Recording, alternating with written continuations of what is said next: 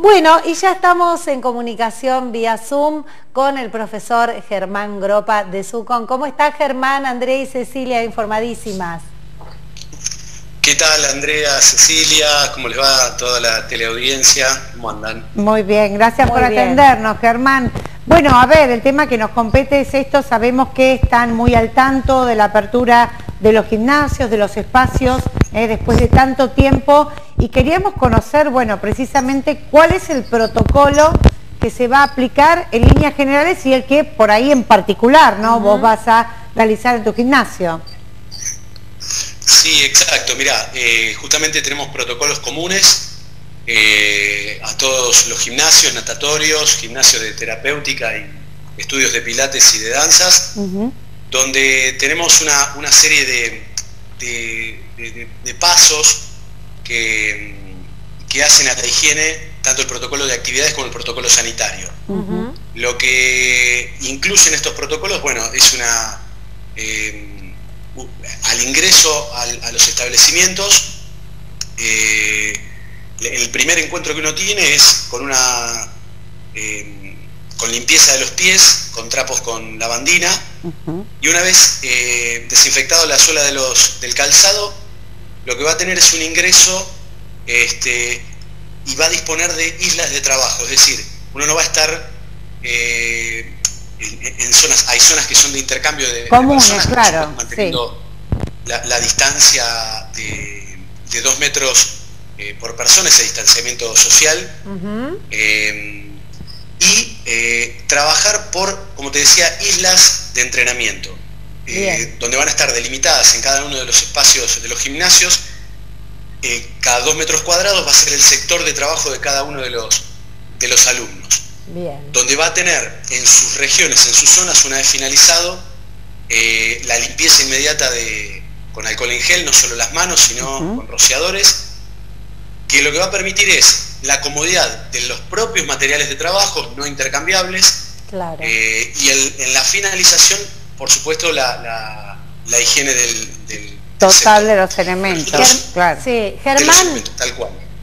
Eh, ¿Cuándo, está previsto, contanos a partir de cuándo ya pueden reabrir los gimnasios y cómo están este, quienes han concurrido durante todo el año, bueno, este, cómo, cómo están ansiosos por arrancar? Sí, tal cual. Eh, la verdad que hay este, muchísima expectativa y muchísimas ansiedades eh, de parte, ahí nos, contactamos entre los colegas, eh, de parte de todos los alumnos con el vínculo que tienen con sus gimnasios. Y lo que sí sabemos concretamente, bueno, que como todas las disciplinas deportivas se fueron reuniendo con, eh, en este caso, en el lunes, los deportes individuales al aire libre, con el municipio, quedamos en confirmar, es casi seguro que vamos a tener una, una reunión con la Dirección de Deportes eh, municipal el lunes. Eh, faltan detalles eh, para confirmarlo, que el lunes vamos a tener seguramente la reunión con, Carlos Silero, el director de deportes, y ahí nos van a comunicar dentro del protocolo cómo va a ser la modalidad.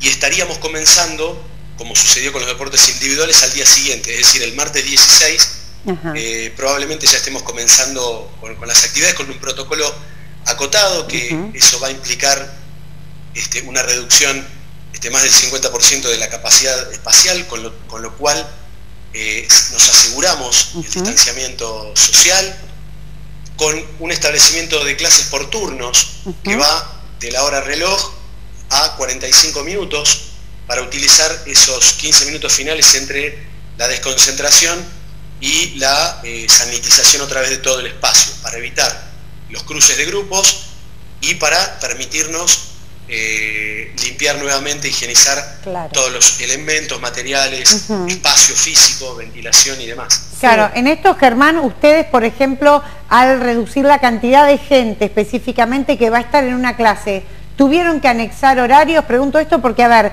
debe ser una de las actividades que una vez que esté abierto van a, volver a tener la misma cantidad de gente, no así como el comercio, ¿no? Que la gente por ahí este, está más especulando qué iba a hacer. ¿Han agregado más horarios? ¿Cómo les cambió también a ustedes la, logística, básicamente?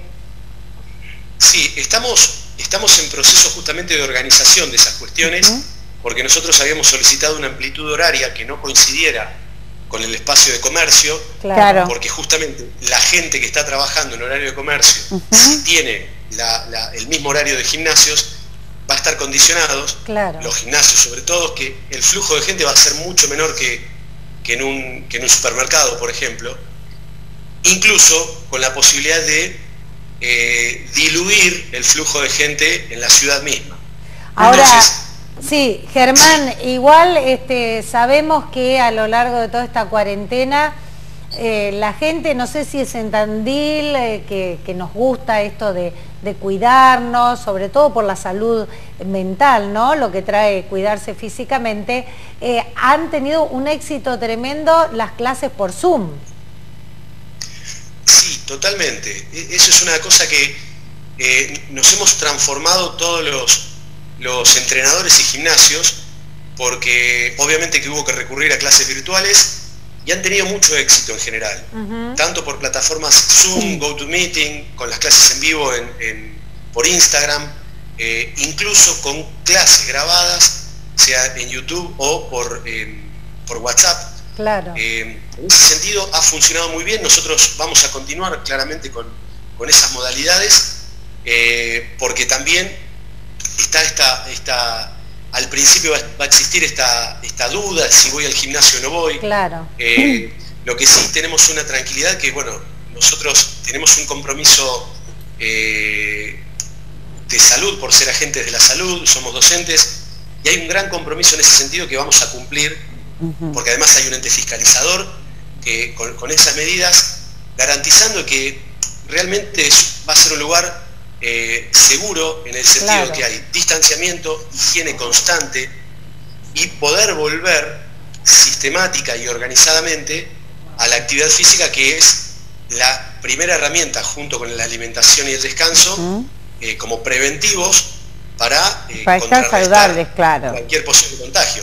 Seguro. Porque una de las cosas, por supuesto que va a depender de todos nosotros continuar con, los cuidados, pero en el caso de que haya proliferación de contagios, que lo puede haber y hay que estar tranquilos en ese sentido, es fortalecer nuestros sistemas inmunológicos Exacto. que sea una barrera para disminuir o atenuar el contagio. Pero bueno, Exactamente. estamos en esa, con esa, claro, esa rigurosidad de, higiene en nuestros espacios. Bien. Sin dudas. Bueno, sí, agradecerte mucho y ya para cerrar lo, hemos hecho, pero bueno, creo que este micro va dedicado para, la memoria de tu papá, que era sin dudas un referente en nuestra comunidad y una persona muy, muy querida, así que nos quedamos con ese recuerdo maravilloso, ese legado que, ha dejado aquí en nuestra ciudad y a ustedes como familia. Sí, muchísimas gracias Cecilia, de verdad. Y la verdad que con esto, en estos días nos hemos dado cuenta que, que papá trascendió, porque la verdad que los mensajes han sido enormes. Y, bueno, y hacer público una cosa muy, muy particular es, agradecérselo a él eh, en particular. Así muchísimas gracias por el espacio eh, y bueno, estaremos en contacto nuevamente. Abrazo Germán, muchísimas gracias. Hasta luego. A usted. Adiós. Bueno, estuvimos charlando con Germán Gropa de eh, Sucon, bueno, contándonos cómo van a recomenzar también esta actividad, que si bien no se cortó, por este bueno claro de manera presencial la apertura de los gimnasios los edificios específicamente y hay muchos que van a seguir por, cuestiones de tiempo de horario que van a continuar con esta modalidad y mm. los que puedan volverán al gym